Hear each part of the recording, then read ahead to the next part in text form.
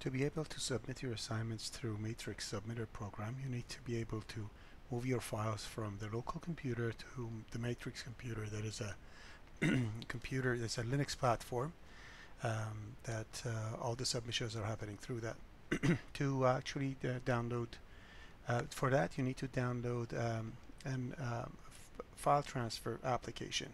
Um, FTP program they call it. It stands for File Transfer Protocol. Uh, the the free one that is uh, very common, everybody uses, is called WinSCP for your Windows computers. So if you just uh, Google and search for it, WinSCP, you go to the official download site, that is uh, winscp.net.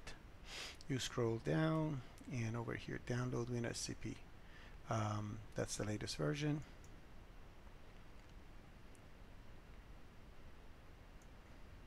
It starts downloading and you see the executable over here. Uh, run the executable.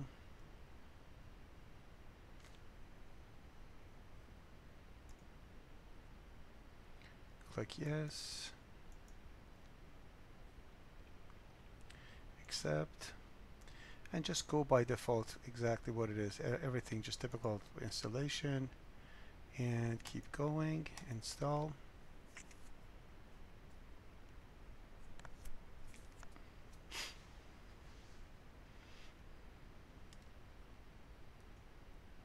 click on next.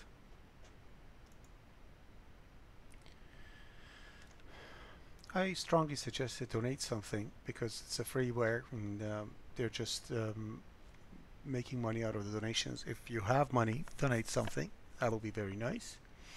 And um, uh, I'm just going to uncheck these and finish. So it is installed right now. If you go to your uh, the programs that are installed, WinSCP is there. To log in with this to your Matrix account, what you need to do when you open it, this comes up.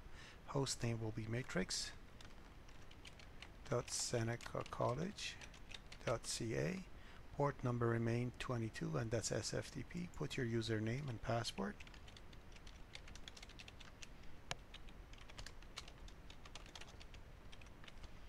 And click login.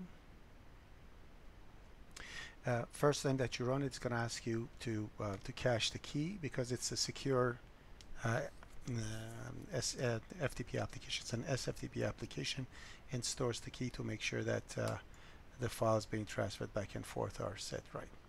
So we're going to say never show this again and continue and it's going to go through authorization. Now at right side what you see over here is your matrix account. At left side is your local computer.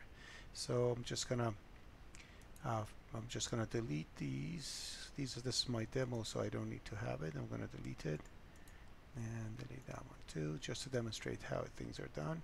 So at left, if I have IPC 144 and say oh, I want to move something to, um, if I want to move something to uh, matrix, let me see if I have a C program here. There we go. So I browsed that left on on some place that I had a C program. So I'm going to click over there at right side. If you want to create a directory, you can just create it over here. So you can simply um, click on new and uh, directory. So I'm going to call that IPC 144. So IPC 144 is created. Now I want to transfer this test.c over here. What you need to do is to always select text when you're transferring your C code. So I'll go, go drag and just drop it over here. And I'm going to click OK. And there you go. Now test.c is on matrix. And that's how you transfer files from local computer to your matrix account. Thank you.